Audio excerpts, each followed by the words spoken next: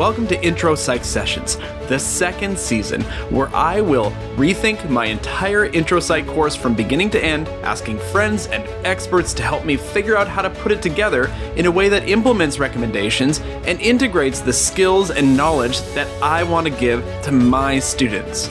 And who better to join me on this adventure, co hosting the series with me, than Dr. Regan A.R. Gurung?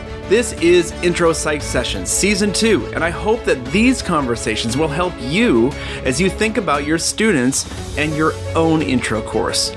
Let's get to it.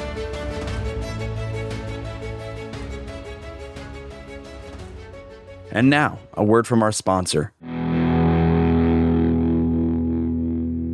Endless distractions, overbooked schedules, information overload. Students face so many barriers to being fully engaged with their schoolwork.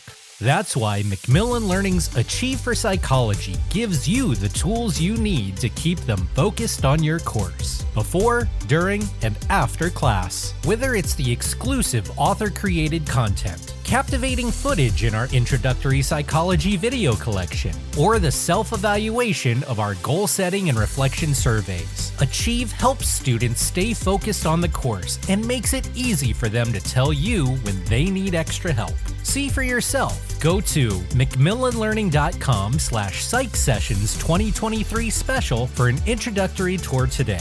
Macmillan's Achieve for Psychology, engaging every student, supporting every instructor, setting the new standard for teaching and learning. Hi. Hi, are you done with your term? Oh my God, yes. I have some ideas that uh, of places I want to start, but maybe you have ideas too. Uh, the the point of this completely selfish. I am redoing my intro psych course. We've learned a lot over the last number of years. I've learned a lot personally, and now I'm trying to put it into practice. But as Regan and I have been talking, we realize that it almost always leads to a values conversation. Um, and and you can't have everything. Uh, and what I we can talk about whatever you're interested in talking about. Um, I can tell you a little bit about what I'm doing, but I thought maybe I would start with assessment with you. Surprise. Sure. surprise, surprise, surprise. Yeah. yeah. So let me give you a quick overview, and listeners are probably tired of hearing this. Uh, and Regan, correct me if I'm wrong, but um, here, here's my my class is an 11 week quarter where I see students about four hours a week that's in the face-to-face version. We haven't there there should be another series for the online version, but or the hybrid version for that matter. But um, in this face-to-face version, what I have kind of relied upon and I like is moving through content um, you know, pretty pretty quickly, but basically week by week. That every week is sort of a module, and um and and it aligns to some content area or something like that. So, sort of but at at it, it's going to run like a cycle. So I have students doing pre-reading um, before we get to class. Um, it's going to be flipped. So for the first time, I am doubling down, committing to active learning in the classroom, which could be very broad. It could be from hey here's some questions i want you to write about for you know 30 minutes or it could be hey take this personality inventory and let's talk about our results for for that so um, there's a lot of different things that that time together could be. But then in the end, um, it culminates in a five part weekly assessment. Um, and I'm going to pull that up right now because I don't have it open. So um, I should have prepped. But um, so so far, any questions while I'm pulling that up? Or Regan, yeah, you, you want to jump? In the end, you'll have a five part assessment. That's the end of the 11 weeks. That's the end of the each week each week. Each week, okay. Hmm. That's the end. Now my class size is small, like yours. I mean, I think you you you're a little smaller than mine for your intro psych class, but I'm 33. What are you again? When I teach intro, and I haven't for a little while for a mm-hmm. variety of reasons, I have had the pleasure of the honors intro assignment, and that that's caps right. at 15. Yes. Yep. That's right. Well, and, uh, and I think you know while you're pulling it up, I think that's that's what you know, on one hand, we often uh, revert to uh, if I had a smaller class, I would. right? And, you know, recently I really pushed myself to say, how would I teach the course if I had three people? And how can I scale it up to my 400 people? Now, of course, it's not not everything will scale up but i think that's the benchmark i'm really been pushing myself to from a course design standpoint is if i feel what do i feel would most benefit a three person class and why can't how, how much more of that can we do for the bigger one? So I think whether it's 15 or 33, I think, you know, I, I just love the how does your assessment change and how should it change? And when are you compromising your assessment just because of class size? And that's the, that's that intersection with values that I think Garth alluded to. That's that's so neat to face face up front. Let me add just one more mechanical uh, opportunity, and that is um, I have ad- uh, uh, adopted the habit of having undergraduate TAs in all my classes. And the value of that, besides giving students who are interested in teaching an interesting pathway to try it out and see how the sausage is made, um, it really allows me to do uh, much more in assessment because I can have undergrad TAs grade low stakes assessments that are rubric driven. And so, whether it's intro or another class, um, I, I can really do things that I think will make the class high impact and memorable, regardless of size. Well, um, yeah, and and I have the you know, I have the privilege of having this smaller class, and yet not everything, not everything is easy, even for thirty three, right? Mm-hmm. It's not it's not three people, and so Regan, I do think that there's something there. Now, okay, so here it is. These it's a I don't want to kill myself with grading. Trust me, I've learned. Um, but at the end of the week, I do want these smaller assessments. Now I'm using the IPI themes. Okay. So, real quick, here are the five things that I'm going to assess at the end of the week. Um, basically, these are the content area. Apply psychology. You can see it here. Improve your life with psychology. That's what I'm basically asking them to do. apply to their lives. Um, solve a problem with psychology, where I give a problem, they solve it. Um, and these are like they're doing this in 100 words, basically, these two.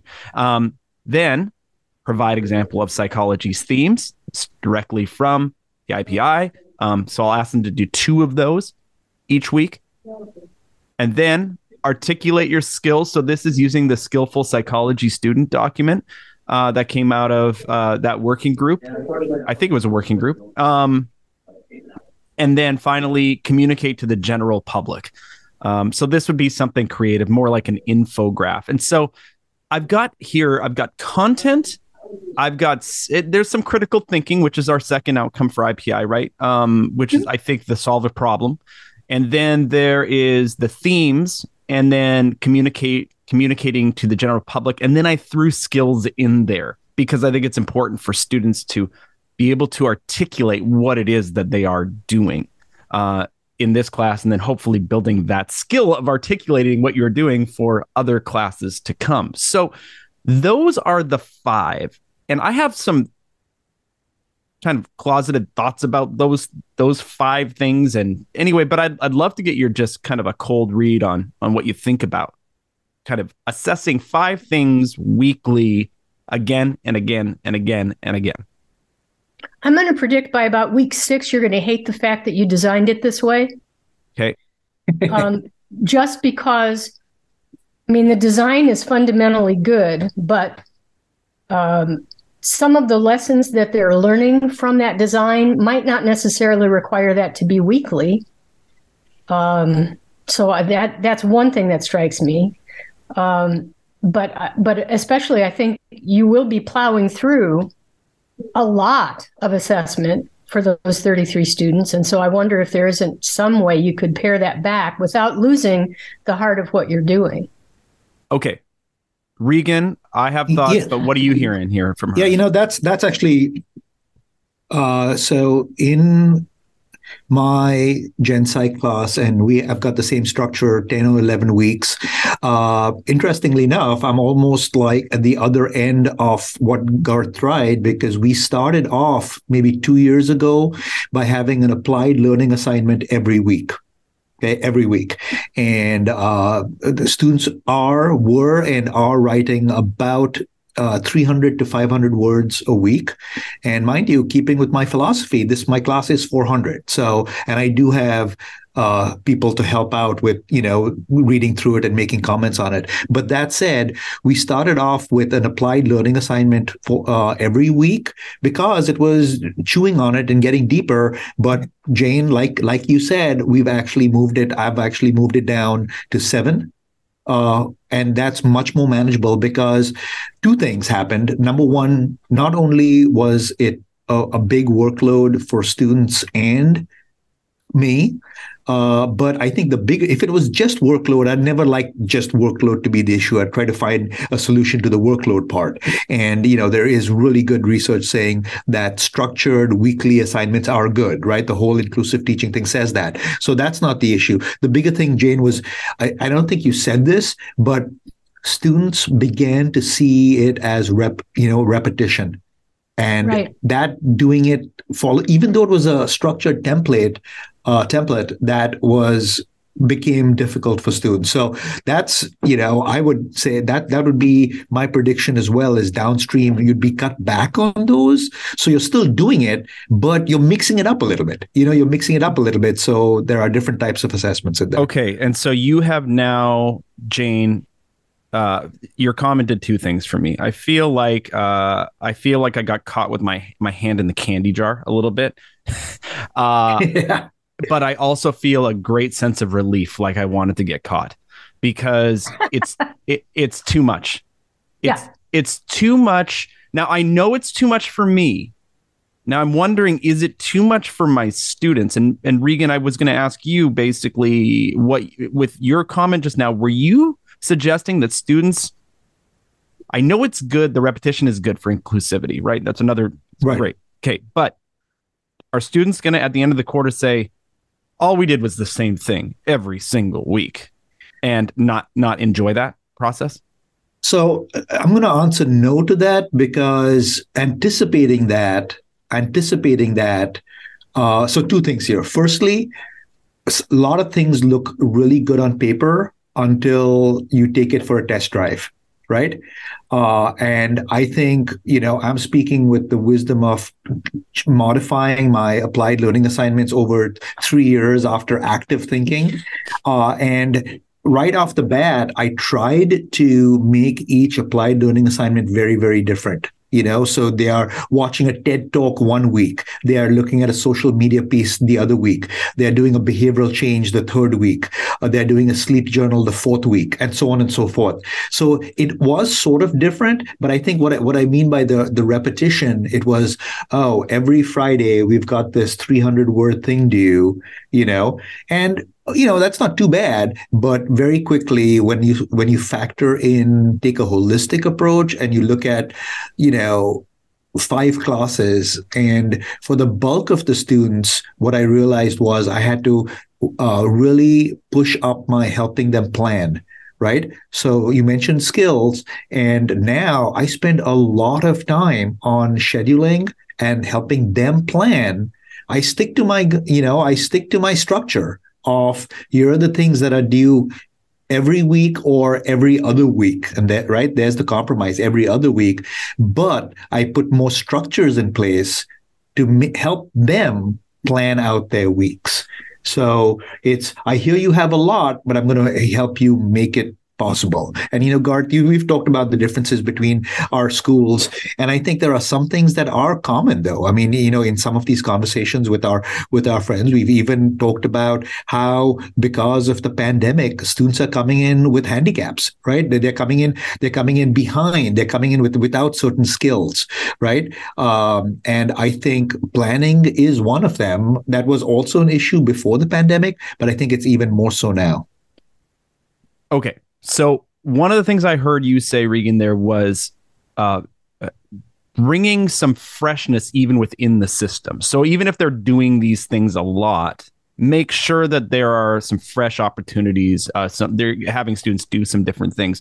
Jane, I want to get back to you because I I think that um, one of the reasons I get stuck, and this is why I started telling you I'm in this cycle, and at the end of every cycle I have this assessment, is because my course is still very content driven as an intro psych course. I just think it is, right? And so let's say I did half the assessment every second week I did this. Then I'm now I don't know how to assess both biological psychology in week three and social psychology in week two if I am doing just one assessment every couple weeks. There's just not room for me to get a feel of what my students are learning. Um, I know there's probably a way to solve that, but it, does my concern? Do you understand my, what I'm saying here? I, I, do understand your concern, and I think, um, and maybe it's just because Regan's present, but maybe if you took a pillar approach to this, I mean, the structure of the assessment that you've done is good. It's just that 11 times I think would grade on me and the students as well. Yep. So if you were doing that assessment based on um, coordinating the modules so that they represent a pillar, that would work. The other um, insight I think I would have is that there's nothing that says that you have to standardize every assessment.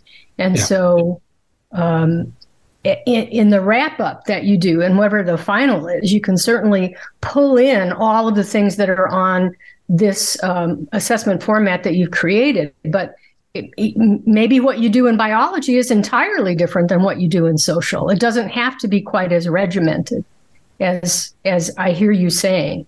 Yep. Um, yeah. You're suggesting that what if instead of doing, let's say, 10 assignments. What if I broke it down into pillars and that cuts the assi- number of assignments in half? That, uh, that's one solution. Mm-hmm. The other would be assess every module, but give yourself some freedom to do different things with modules. And so let me tell you about what I do in biology. Yep. Uh, I love this that um, all of the courses, all of the modules, topic areas that are related to biology, sensation, perception, etc. Um, I ask, I give students a take home exam, and in the beginning of the class, they've told me what they like to do when they're not studying. So the exam is tell me how you do that. Go back and look at brain function. I give them a kind of a structured um, protocol that they have to work their way through. One of the questions is flip a coin. If it's uh, heads, then you just developed a tumor on the right side. Tell me what's going to happen to your ability to do the thing you love.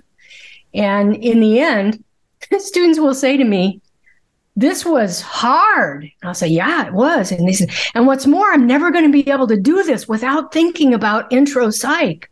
I said, great, because yeah. that's exactly what I wanted to have happen.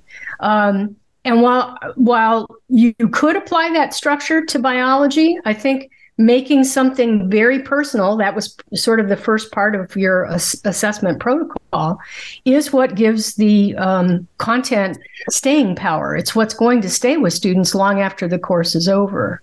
And i would much rather they have interesting memorable different experiences. Maybe one module ends with a group experience. Maybe one module ends with the maybe an infographic is the end game for one module. Yeah so I think figuring out how to change it up, especially for intro, when again we know for a majority of students, this is our last last chance to be influential in how regular citizens are going to think about the science of psychology. Okay, just a little note before Regan sure. talks. Garth, in the future, please re-listen to the last two minutes of Jane talking. Okay, go ahead, Regan. well, you know, something something else that I remember learning from Jane uh, that I'm reminded of here is there's a very uh, there's a very easy other way to carve nature at its joints, which is have uh, you know the seven te- uh, seven teams, right? So one of those kind of assignments for each team, and it doesn't matter which what content and I think that's the magic of what the the woolly mammoths, uh, aka the the APA, IPI student learning outcome groups uh, came up with, is is by moving away from content to saying, look, focus on these themes. That's actually the perfect structure for assessment for us. Is make sure you have one really good assessment for each theme. Voila! Then you automatically cut off that that issue, and it doesn't matter what the content there, you know, it's used, but you're getting at the at the theme. Yeah, there is this there is a possibility that I'm still trying to do too much with my course. That's kind of the what the at, at this point, I feel like I have dropped so much content. I feel like I have dropped so much assessment, even. I mean, even up until up through the IPI work, I was having my students write so much to the point where my strategy was I'm going to selectively grade and they're going to be okay with that. I'm only going to select 20% of what they're graded and look at that, which I'm fine with. Actually, that's still a strategy on the table here. Um, but what what you're saying, Regan, is is still pushing me. Even having taught this class for 20 years, it's still pushing me to say, no, you can still let go of more. If this class is supposed to do what if hmm, the the the gift of this class is not necessarily its content. it's it is it is its content, but the gift of this class is so much more. And I think the content has been it's been uh, it's it's been an uneven balance with what this class can do. We we agree with that, Jane. Mm-hmm. Yeah. We do. Um, I think if what we're trying to do is use intro psychology as an opportunity to introduce the skills that psychological thinkers develop, then it really makes wide open the kinds of things that you can introduce for student learning experiences that are and i'm you know i hate to drag in the phrase that's now making all accreditors happy but um, psych intro psych is the perfect place for high impact practices um, what you do should be memorable. And frankly, multiple choice tests are not memorable. Do they have a place? Sure. Um, but students aren't going to remember much of what they get tested on that way, but they are going to remember when they were with a group and had to do an infographic about what should you punish your child. Those are the things that they're going to remember. And I think uh, we we really want to be in this for the Velcro learning. We want the stuff that's going to stick. Mm. And, and and along those lines, I mean, for, for both of you, uh, remind the listeners and me, uh, you you you are doing one term or semester for intro psych, correct? I think that's really important to keep in mind because uh, at Oregon State we have two terms where we can split it up, which allows a lot more opportunities for activities and things like that. But Garth, your your redesign, we're still talking about you redesigning a one term that's intro psych class. Yeah. Yeah. In a 11, quarter. 11 In, weeks. Yep. Yep. I mean, it's intense. This is the other thing, and I that I think is actually quite unique to to 11 week quarters is if your students get sick for a week, they miss 10% of the class. Mm-hmm. Right. Yeah. It's it is um it is not conducive to like life going poorly for a short stint of time for students. Um, hey, I know that uh, we're kind of up against the clock here. I wanted I wanted to share where I'm at after this conversation. I have a I have a choice to make because I like this. I love structure. Okay, so I like the structure. I love the five things I'm assessing. Um, there's, and I don't think anybody would disagree. Those are great things. I've got to figure out how to bring some variation within that and I also have to figure out not to burn myself out or my students out with the the repetition. So I need a strategy. Now, spec grading is an interesting thing to think about here because and and this is one of the opportunities because you could have students um, kind of earn their points for the course by doing say there's 10 assignments saying you've got to do um, you know, six of these to get uh, a B or eight of these to get an A. And it's really up to you how much you decide to do. And out of the 10, you got to do eight or something like that. Okay. That doesn't feel great. Um, there's also a um, the pillar sort of thing that I'm resonating with, which is let's make this a biweekly um, assignment and I actually like that. It gives me room to actually work on the assignment with my students or to give them feedback in real time and use some of the class time to do that. And then um, I think there is a third way here, and that is to take these five things and uh, have students turn in something at the end of each week, but maybe not all five. Maybe what lends itself to the content. Where do you have a preference of those three? Anything stick out to y'all? I think I prefer, based on your description, um, the third. because I think it allows you to have the most variety of what will engage students. Um, the second also has appeal, and in way last position would be spec grading. Yep. Yep. Okay. Regan? Yeah, you know, I I think um, I go back and forth on on, on those. Uh, and I go back and forth on those, and I'm still really playing playing with things in my head. So, Yeah. uh, you know, come back to me Okay. in some time. Come back, come back to me in some time. Yeah. You know I will, Jane. We uh, Regan and I, after all these conversations, we usually just sit down, keep the mic on, and then we, um, I don't know, lose our minds thinking through all this great stuff we've heard from folks. So, uh, Jane, you did not uh, let me down. I I really feel like, and I think it's because of uh, how long you've been doing this, your expertise, Forever. I've been doing it forever. But you you really are uh you're a great coach and um so Oh, thank and you. so i really appreciate you your your feedback and obviously when you speak i listen and um and thanks for taking the time My pleasure.